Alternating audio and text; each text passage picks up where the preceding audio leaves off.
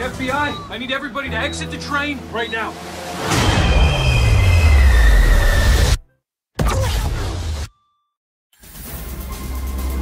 Have you ever heard of Night Action? It's a top secret investigative program within the FBI. So you want me to be a night agent? God, no. I want you to answer the phone for them. It rarely rings. Yes, go ahead.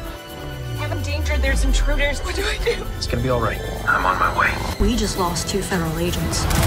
They suspect someone in the White House of being involved.